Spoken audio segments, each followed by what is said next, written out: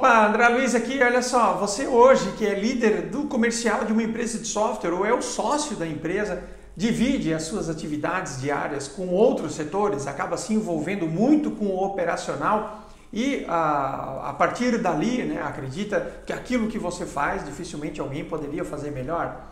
Olha só, isso são características de um lobo solitário. Alguns estudos mostram que o lobo solitário é aquele que, quando ele convive numa alcateia, ele toma algumas decisões que não é em conjunto, um pouco de egoísmo ali dele, até a própria falta de liderança vai fazer com que as decisões dele, o grupo não goste, né? E por conta disso ele é expulso da alcateia. E aí ele é condenado a viver sozinho, né? tomar as decisões sozinhos. E aí ele fica então é, agora imerso né? É, nesse mundo da natureza, né? esse mundo selvagem e por conta disso ele vai ter uma vida muito mais difícil, vai ter até possivelmente uma vida muito mais curta do que ele teria se ele tivesse numa alcateia. Ele pode até tentar montar outras alcateias, mas o fato dele ter isso dentro da natureza dele faz com que ele não consiga conviver em alcateia e assim por diante. Olha, durante muito tempo eu observei na minha própria empresa que ela dependia totalmente de mim, o crescimento, as ações, as tomadas de decisões. Só que eu, ao fato de eu não ter pessoas e eu assumir toda a parte operacional do meu negócio, travava o crescimento da minha empresa. Então, eh, eu observando isso, o que, que eu decidi fazer? Eu decidi abrir mão da operação, abrir mão dessas atividades que não são mais estratégicas, né? são operacionais do meu negócio e eu passei a contratar pessoas para trabalhar comigo. Hoje nós temos pessoas em várias é, trabalhando home office, né? executando tra tra trabalho de tráfego, executando trabalho de conteúdo, ex executando trabalho de suporte, para fazer com que eu consiga, de fato, ficar é, especificamente trabalhando na parte estratégica. E desde 2015 eu venho mentorando empresários de software e eu já conheci vários que têm esse mesmo comportamento do lobo solitário.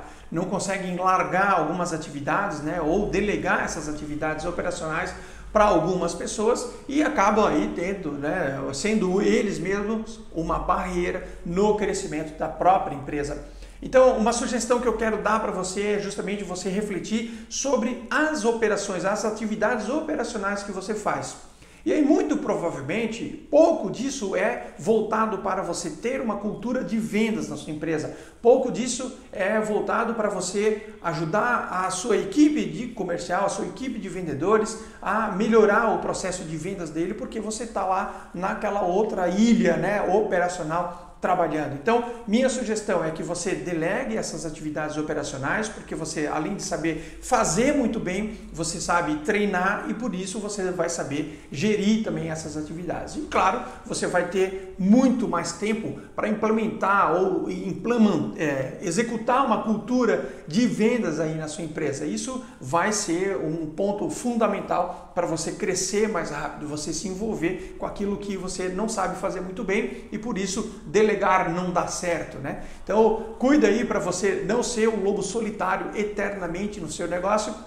Então fica aí a dica, né? Alguns dos meus empresários que estão na mentoria venda de software acabam decidindo, né, ou percebendo que eles erraram no momento em que eles tentaram delegar o comercial por conta de eles não saberem ou não gostarem de fazer isso e passaram então agora a organizar um processo estruturado na empresa deles, como esse que eu mostro aqui atrás, e é, passaram a ter então mais é, vantagem de gestão, né? inclusive vantagem competitiva, porque a equipe que eles montaram de venda, de prospecção, é muito mais focada na cultura, no método e, obviamente, eles tiveram mais resultados.